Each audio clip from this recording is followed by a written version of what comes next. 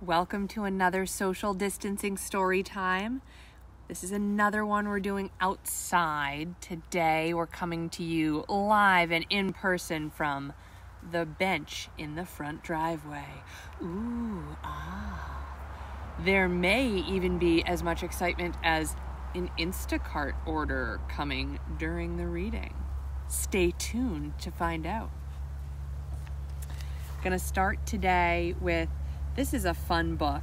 Um, New York in Four Seasons by Michael Storrings, who's the author of A Very New York Christmas. We don't have that book, but we loved this book. We got this book when Stasha was, I don't know, maybe two. Hey, there she is, the woman herself, Stasha Rose McGee. Um, we got this when Stasha was about two, I think. Uh, and we were still living in New York City, so we could read about all sorts of cool New Yorky things. So uh, it more teaches you about fun stuff that happens in New York than tells a big overarching story, but it's got cool pictures and we like it, so we thought we would share it with you today. You finishing up your uh, fish sticks? All right. Whoops, here we go. New York in four seasons. So this is the calendar. You've got fall, Labor Day weekend, Village Halloween parade, Thanksgiving Day parade, and then winter you've got Christmas, Hanukkah, New Year's Eve, Chinese New Year, into spring that starts with Saint the St. Patrick's Day parade.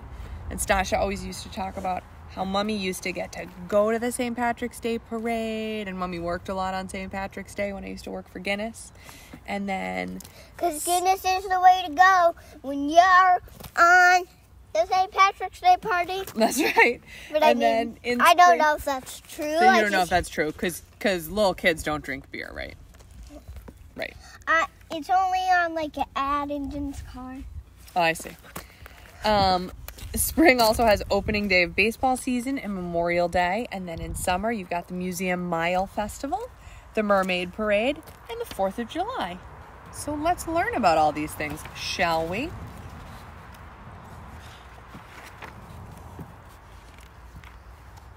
A foreword by no less than Kristin Chenoweth of Broadway TV and movie fame. She's one of the ones singing in Defying Gravity. She's Glenda the Good Witch.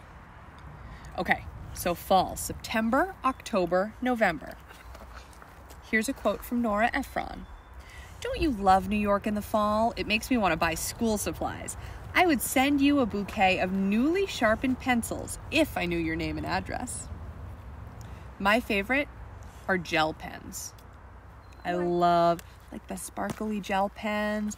I used to use them to underline in my books when I was in school, and I liked to write in fun colors. Those were my favorite school supplies. I love a stationery store. All right, so Labor Day weekend.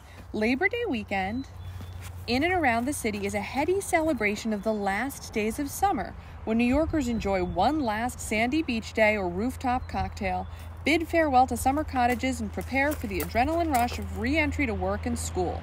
Picnickers flock to Central Park, Riverside Park, Prospect Park, and the city's 1,700, 1,700 other parks to milk the last hours of summer's leisurely pace. The weekend reaches a crescendo with the colorful costumes and street dancing of the West Indian Day Parade on Brooklyn's Eastern Parkway. Cool. Oh, the Chili Pepper Festival.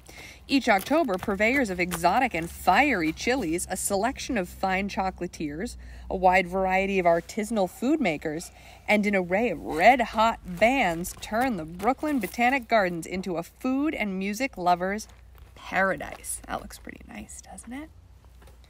And then this is the Feast of San Gennaro. Dedicated to the patron saint of Naples, the Feast of San Gennaro was first held in Little Italy in 1926. Today, food stands, processions, music performances, rides, and arcade games bring a carnivalesque atmosphere and more than a million visitors to the neighborhood's narrow streets for 11 days in September. We used to love carnivals in New York, a lot of street festivals. One World Trade, and Lower Manhattan. Lower Manhattan has undergone multiple transformations during its 400 year old history. It's the lower part of the city, the lower part of the island. Um. You have, it's where Daddy used to work. From Dutch colonial outpost to bustling port city to financial center of the world to the site of the World Trade Center in the attacks of September 11th, 2001. Today, this unique swath of the city is a vibrant hub of culture and commerce, all the more so in autumn when Wall Street revs up after the summer vacations and thousands gather at the National September 11th Memorial and Museum for tributes marking the anniversary of 9 11. The memorial's twin reflecting pools and serene tree shaded plaza border the One World Trade Center skyscraper rising at the northwest corner of the very tall building, rising at the northwest corner of the former Twin Towers site. Each September 11th, two beacons of light symbolizing the fallen towers are projected from ground zero into the sky, a moving remembrance visible for miles around. Octo- in October, autumn leaves on hundreds of oak trees surrounding the reflecting pools turn the plaza into a brilliant canvas of deep golds, reds, and pinks. The Indian summer days of early autumn reflect lower Manhattan and New York Harbor at its best. Sunlight sparkling on the water, the Statue of Liberty in clear views, ferries chugging to and from Ellis Island and the Staten Island ferry terminal, and municipal workers scurrying past public sculptures on their way to the city. Uh, the area's monuments are many, including the old U.S. Custom House, now the National Museum of the American Indian, and the Woolworth Building. On a typical warm day, hold on, tourists and stockbrokers, attorneys, and school children might be enjoying an alfresco lunch in Battery Park. And what does alfresco mean? I don't know. It means outside. This is an alfresco story time. Uh, or a lunchtime concert in historic Trinity Church at the head of Wall Street. What's up, dude? This page is my favorite page Oh. because I Oh. like to see happy faces and sad faces. Yeah, the drama masks. Yeah. Broadway and opera season openings. September signals the start of the season when New York's opera and theater companies debut new productions and elegant red carpet opening galas are a must for the city's social set and power brokers. Opening night, as a social tradition, began in the 19th century among New York's Knickerbockers, the blue blood. fa- Knickerbockers. well, it means the blue blood families, kind of the, the fanciest people in the city, the most wealthy people in the city, who founded the first Metropolitan Opera House in 1883 at Broadway and 39th Street. These days, the Monday night opening galas at Lincoln Center begin with a parade of opera stars and celebrities arriving at dusk in black tie and shimmering gowns. On Broadway, one beloved behind the scenes opening night ritual is the gypsy robe. Each time a new what- what- this is the gypsy robe. Well, I'll tell you about it. Each time a new musical opens, a decorated dressing gown is presented to the chorus member with the most Broadway credits. In the quiet theater, before the audience arrives, the cast forms a circle on the stage and the robe is bestowed on the lucky cast member, the gypsy What is a gypsy? each the person who has the most credits, who's been in the most plays. Each new gypsy adds his or her own theater memorabilia to the robe, and when the robe is full, it's retired and they start a new one. So it has all sorts of cool stuff from all different plays all over it. And that's kind of what it looks like down on Broadway and in Times Square. Ooh, party. You used to, you went to see the Very Hungry Caterpillar play over there. Yeah, I went to see the Hungry Hungry Caterpillar, Caterpillar, yeah. when Eve was a little teeny tiny tiny tiny weeny baby. That's true. All right, with, here's a quote. with my um with my nanny Avi and someone else. mm-hmm. Some of your little friends. Okay, this is a quote from Sarah Jessica Parker as Carrie Bradshaw, the role she played on Sex and the City. She said, New York is definitely haunted. Old lovers, ex boyfriends, anyone you have unresolved issues with, you are bound to run into again and again until you resolve them. That Carrie Bradshaw was wise. What? That's a joke. All right, the Village Halloween Parade. America's largest night parade gets underway each October 31st in the heart of Greenwich Village, when thousands of costumed revelers, street performers, and giant puppets promenade up 6th Ave in the Village Halloween Parade. The pageant has been called the largest street party in the world, drawing more than 50,000 participants and 2 million spectators to an annual ritual that celebrates the city's diversity and creative energy. A highlight of the event is more than 50 elaborate articulated puppets. That means they can bend their limbs and move.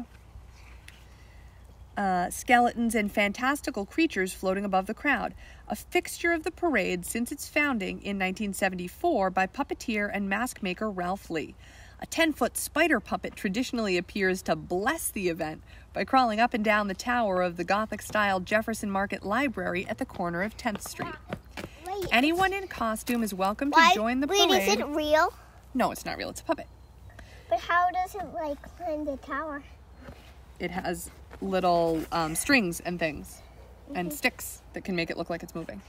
Anyone in costume is welcome to join the parade, and in keeping with the village's tradition of tolerance, you'll see not only witches and ghouls, but also plenty of celebrity satirists, fairy tale crossdressers, and brilliant body paint worthy of an artist's studio, in addition to Are more than real bats? no. Than 50 bands and plenty of dancing, the parade was named a true cultural treasure by mayoral proclamation in 1994 and remains a safe and beloved annual event.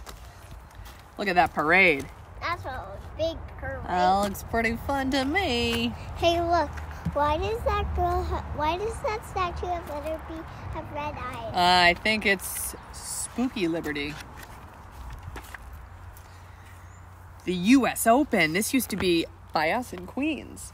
The United States Open Tennis Championship, held annually in late August and early September, is an exciting harbinger of autumn in New York.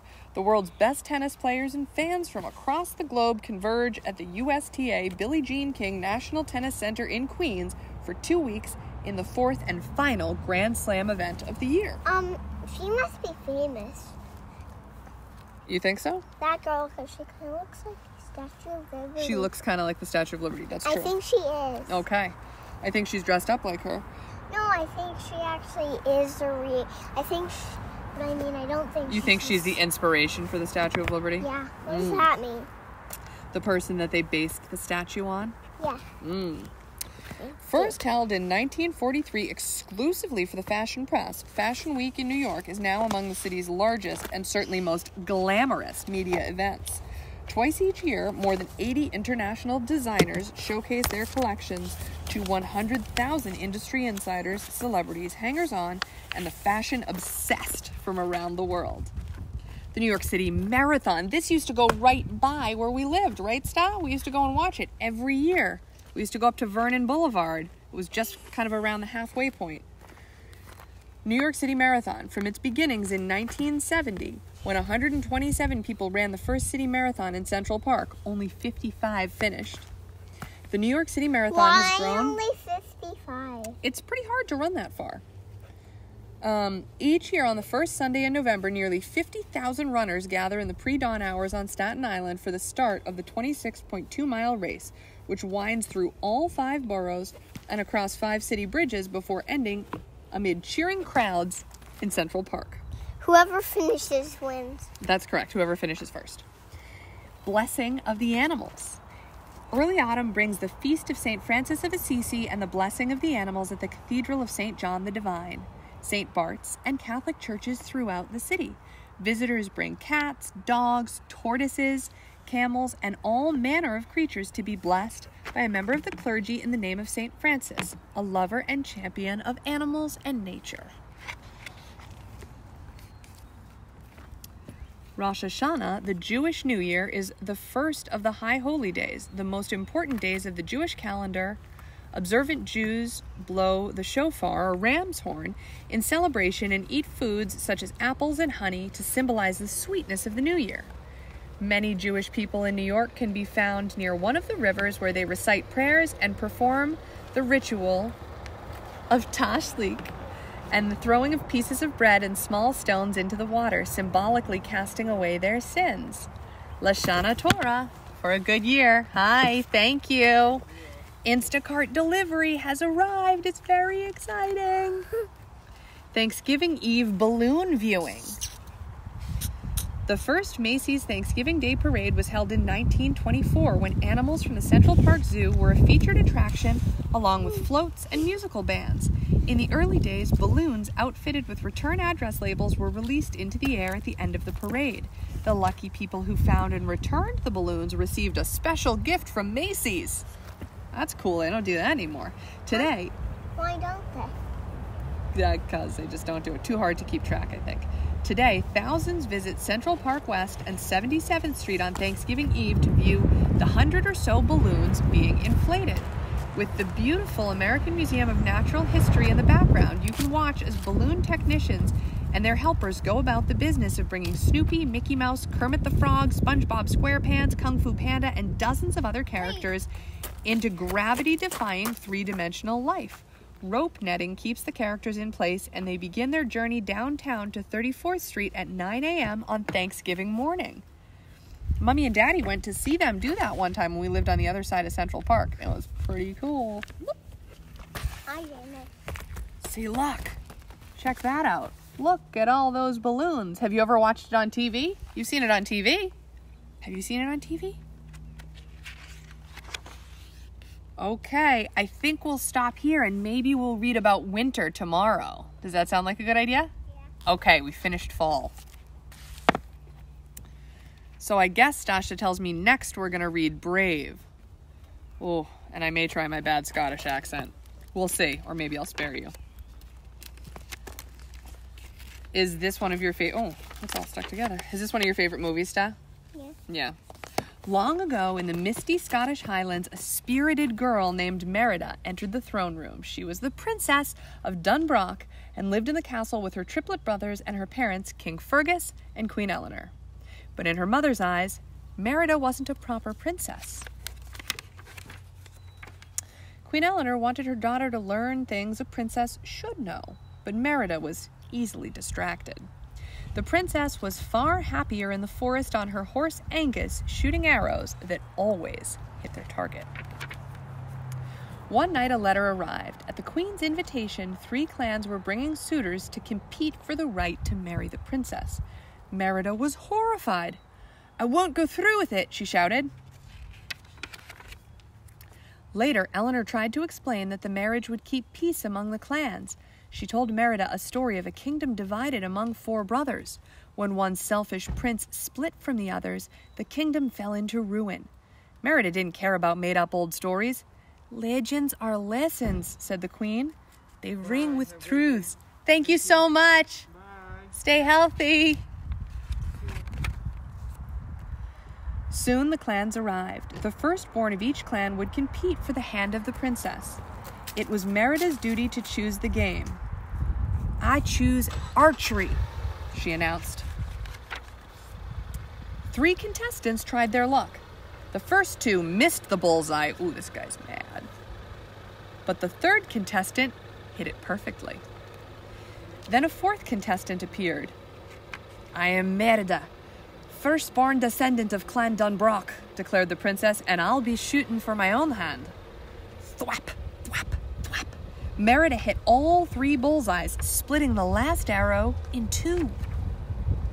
Queen Eleanor was furious. Worried that Merida's actions could destroy the peace among the clans, the queen dragged her daughter inside. Merida, you are a princess, and I expect you to act like one, shouted Queen Eleanor. But Merida was angry too. She didn't want to get married. You're a beast, Merida shouted back. I'll never be like you. Then the princess slashed the family tapestry, splitting the images of herself and her mother. Sobbing, Merida ran out of the castle and galloped away on Angus. Deep in the forest, she spotted blue lights that contained tiny figures, wisps. The princess followed the magical creatures to a small cottage. It was the cottage of a witch. Merida asked for a spell. If I could just change my mum, then my life would be better. The witch held up a ring that a prince had once swapped with her in exchange for a spell to give him the strength of ten men. He was forever changed, the witch warned Merida. That was exactly what Merida wanted. So the witch put a bit of this and a dash of that into a cauldron and made a cake.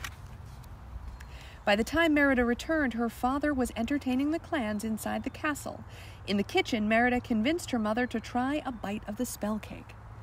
Afterward, Eleanor felt dizzy, so Merida helped her mother upstairs. The princess wondered if the spell was working. The spell worked, but not the way Merida expected. Though her mother was still Eleanor inside, outside, she was a giant bear. Merida had to help the queen escape because King Fergus hated bears, having lost his leg to the demon bear Mor'du. With her brother's help, Merida sneaked the queen out through the kitchen. Help yourself to anything you want as a reward, she called to the triplets. The queen and the princess returned to the cottage, but the witch had left. Instead, Merida found a message Fate be changed, look inside, mend the bond torn by pride. The princess didn't know what it meant, but the message also said that she had only until the second sunrise to change her mother back, or the spell would be permanent. That night they slept in the forest. In the morning, Merida showed the queen how to fish. For the first time in a long time, the two had fun together. Later, they spotted the wisps. The creatures led them to ancient ruins marked with the same symbol that had been on the ring the witch had shown Merida. Merida bravely entered and found a tablet of four princes on the floor of the throne room. As in the legend that her mother had told her, one prince was split from the others. Just like the tapestry, Merida whispered, remembering how she had separated herself from her mother when she slashed it. Perhaps, if she mended the tapestry, the witch's spell would be broken. Suddenly, the demon bear Mor'du emerged from the darkness. This place was his home. Merida realized he was the ancient prince who had wished for strength, and the witch's spell had turned him into a bear, too. Mor'du chased them. Merida and her mother just managed to escape. In order to mend the tapestry, Merida and Eleanor Bear had to sneak back into the castle. But when the clansmen saw Merida, they demanded an answer. Whom would she marry? Merida looked to her mother, who had managed to hide. Silently, Eleanor Bear motioned the words Merida should speak. They should all be free to follow their hearts, explained the brave princess, and find love in our own time, she added. The clans agreed. Now that the clans were happy, Merida and her mother slipped away to find the torn tapestry. But King Fergus found them first. He wouldn't listen to his daughter's story, and Eleanor Bear had to flee. King Fergus locked Merida in a room to protect her from the bear while he went after it. He gave the key to a servant named Maudie. Luckily, Merida had help from her brothers who had turned into bear cubs when they had eaten the rest of the spell cake left in the kitchen. They managed to startle Maudie and were able to get the key to free Merida. Her father and the clansmen chased Eleanor Bear into the forest. Merida and her brothers followed them on Angus, with the cubs steering and Merida sewing the tapestry. They arrived in the clearing just in time for Merida to stop her father from striking Eleanor Bear. just then, the demon bear Mor'du burst through the trees and lunged at Merida. But Eleanor Bear protected her daughter. A huge stone fell on Mor'du, and the bear turned into a wisp. The ancient prince was finally free. Merida threw the mended tapestry over her mother, hoping to change her back, but nothing happened. Merida realized her mother might be a bear forever. I want you back, Mummy, cried the princess. I love you. As the sun started to rise, Merida looked up and saw her mother. The spell had been broken. Even the triplets had become human again. You've changed, Merida exclaimed happily. Oh, darling, we both have, answered Eleanor. It was true. Though they were still different, mother and daughter saw the strength in each other and wouldn't change a thing. Their bond was now stronger than ever. As they watched the clan sail back home, Merida smiled. As long as she was brave enough, her fate would always be something that she could decide. Oh, time for more accents. The Tale of Benjamin Bunny by Beatrix Potter.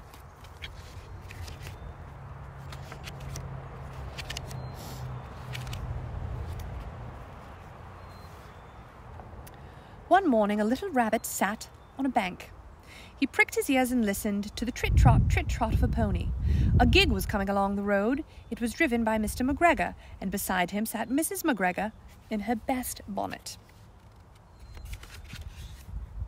As soon as they had passed, little Benjamin Bunny slid down into the road and set off with a hop, skip, and a jump to call upon his relations who lived in the wood at the back of Mr. McGregor's garden. That wood was full of rabbit holes, and in the neatest, sandiest hole of all lived Benjamin's aunt and his cousins, Flopsy, Mopsy, Cottontail, and Peter.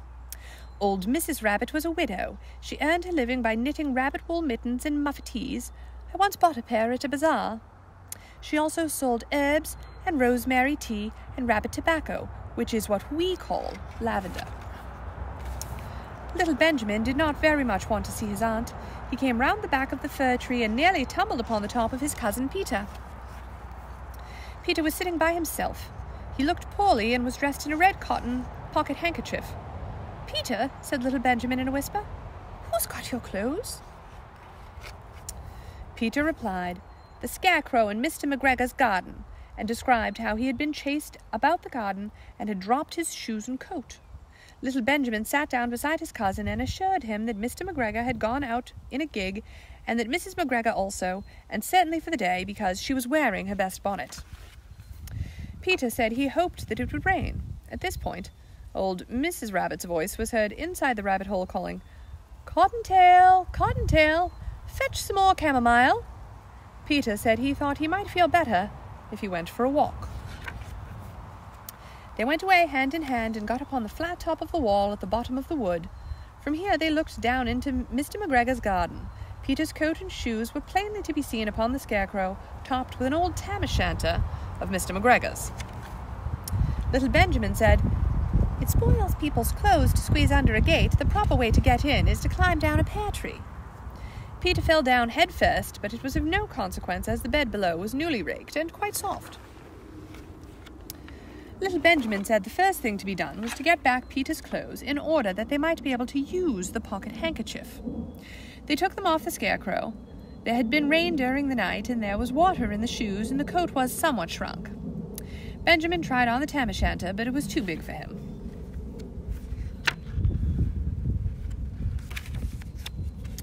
Then he suggested that they should fill the pocket handkerchief with onions as a little present for his aunt. Peter did not seem to be enjoying himself. He kept hearing noises. Benjamin, on the contrary, was perfectly at home and ate a lettuce leaf. He said that he was in the habit of coming to the garden with his father to get lettuces for their Sunday dinner. The name of little Benjamin's papa was old Mr. Benjamin Bunny. The lettuces certainly were very fine. Peter did not eat anything. He said he should like to go home. Presently, he dropped half the onions. Oh dear. Oh dear. Little Benjamin said that it was not possible to get back up the pear tree with a load of vegetables. He led the way boldly toward the other side of the garden. They went along a little walk on the planks under a sunny red brick wall. The mice sat on the doorsteps cracking cherry stones. They winked at Peter Rabbit and little Benjamin Bunny. Presently, Peter let the pocket handkerchief go again. Oh no.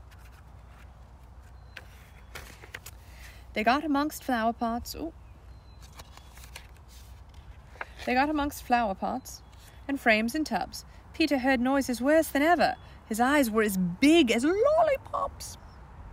He was a step or two in front of his cousin when he suddenly stopped. This is what those little rabbits saw round that corner. Little Benjamin took one look, and then, in half a minute, less than no time, he hid himself and Peter and the onions underneath a large basket. Mice or bunnies do not want to mess with cats, do they? Cats can be trouble. The cat got up and stretched herself and came and sniffed at the basket. Perhaps she liked the smell of the onions. Anyway, she sat down upon the top of the basket. Uh oh. She sat there for five hours. I cannot draw you a picture of Peter and Benjamin underneath the basket because it was quite dark, and because the smell of onions was fearful. It made Peter Rabbit and little Benjamin cry. Do onions make you cry? They make me cry so bad. The sun got round behind the wood, and it was quite late in the afternoon, but still the cat sat upon the basket. At length there was a pitter patter, pitter patter, and some bits of mortar fell from the wall above. The cat looked up and saw old Mr. Benjamin Bunny prancing along the top of the wall of the upper terrace. He was smoking a pipe of rabbit tobacco and had a little switch in his hand. He was looking for his son.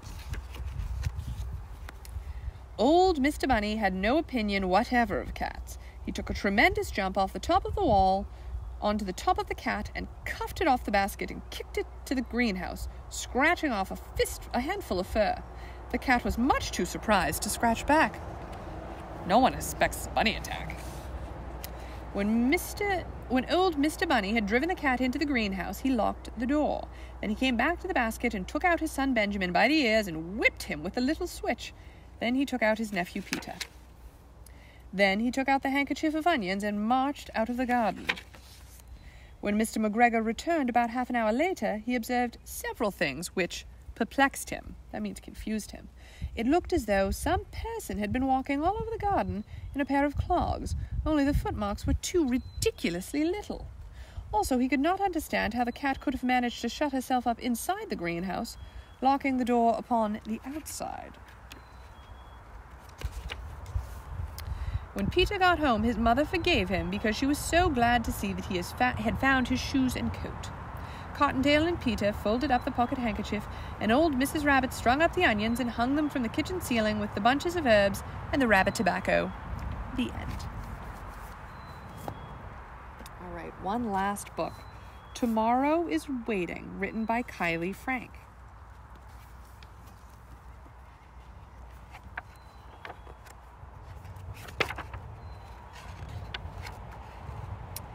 Tonight you sleep uh, Tonight, as you sleep, a new day starts. Each kiss goodnight is a wish for tomorrow. That you'll have that you'll have wings enough to fly as high as you want. That you'll explore the world only feeling lost in your imagination. That you'll search with purpose laugh with kindness, act with friendship. And always know which risks are worth the courage they take.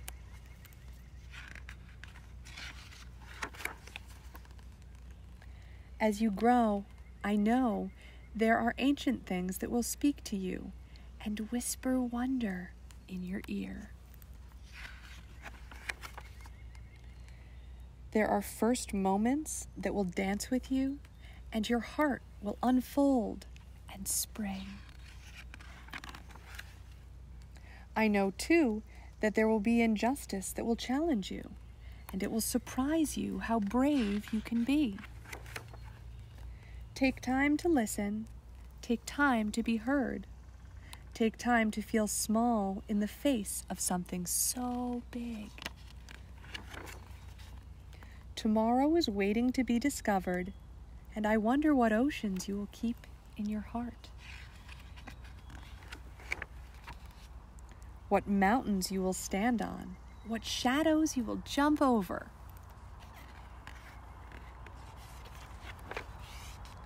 Your world is just beginning to deepen and grow. What do you see here? I see some jellyfish see a big whale. I see a squid and some sea turtles, some orcas, some narwhals, lanternfish, jellyfish, all sorts of stuff in there. Oh, stingrays.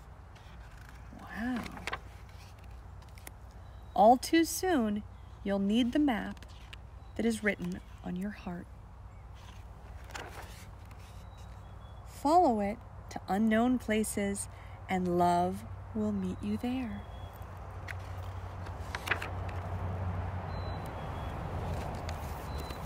That's it for today. Thanks for joining us for story time. We'll see you again tomorrow. Bye.